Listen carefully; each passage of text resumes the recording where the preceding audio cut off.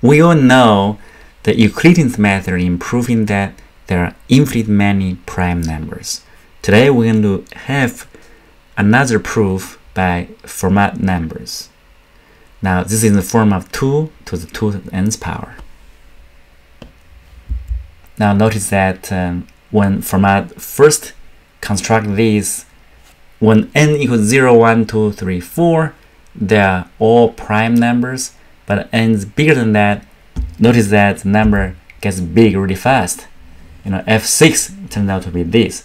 Without a computer, you would imagine people won't be able to figure out is this a prime or not, right? So later on, of course, Euler found out that even f5 is not a prime number. Later, people figured out that uh, you know most are not prime numbers. So even people argue that maybe the you know the lower numbers are exceptions. You know most should be composite numbers, but this is not proven. Now, of course, we don't care about this. We care about that we can use these to prove the fact that there are infinite many prime numbers.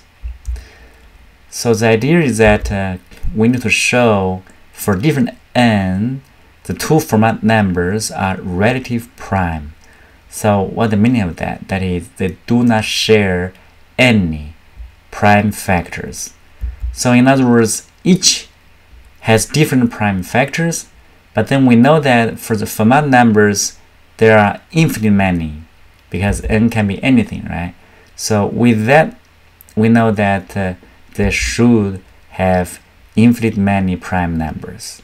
Yeah, uh, with with the fact that uh, no two Fermat numbers share any prime factors. Okay, that's the reason for the proof. Of course, how do we prove that uh, you know two Fermat number are relative prime? Okay, so we're gonna start with a claim on the relation of fn with the remaining one, f0 up to fn minus 1. So this equation can be proven using mathematical induction. Okay, remember in mathematical induction we always start with some base cases and then we have induction step. So let's do it.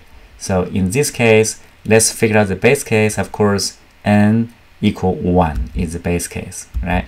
So when n equal to 1, uh, f1 by definition is 5 and then if you minus 2 that will equal 3 which is f0 so you plug in the number that can be verified okay? So now we go to the induction step. In the induction step you assume the statement is true for n equal k. And here k is 1 or greater, right? So what we need to work on is to prove that it is also true when n equal k plus 1. So with the assumption that it is true for n equal to k, in other words, this equation holds. You know, for fk minus 2 equal the multiplication of all the Fermat number up to k minus 1, right? So now what if n equal k plus 1? So we can plug in by definition. That is, remember, a squared minus 1 is equal a minus 1 times a plus 1. So we use this formula. Notice that here, the two factor, the first one is nothing but fk minus 2. All right, so let's replace that. And the second factor is fk. But by the induction assumption, right, that in the market highlighted here is going to be F0, F1 up to Fk minus 1. Let's plug in, we have this. So what that means? It means the statement or the equation is also true for n equal k plus 1. So we completed the induction step. So by the mathematical induction, so we know that the equation is true for all integer greater or equal to 1.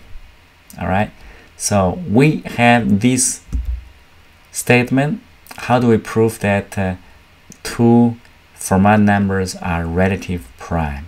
All right, now, now think about it for fn is related to all the you know fk for k less than n. We claim that they cannot have any common prime factor. Okay, assume there's a factor, right? Which is q. Assume q, of course, is greater than one, right? Assume there's one. Now we know that um, uh, in this case, q as a prime number divides on the right hand side of the equation, so it divides fn minus 2. But since q divides fn, so we conclude that q must divide 2. Now 2, you know, if q greater than 1, q has only one prime factor, which is 2. So q has to be 2. But of course, this is not possible because all Fermat numbers are odd numbers, right? It's like 2 raised to the 2 to the nth power plus 1, right? So it cannot have 2 as a prime factor.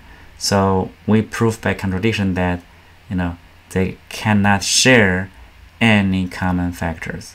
So in other words, we know that uh, fn and fm are relative prime, okay?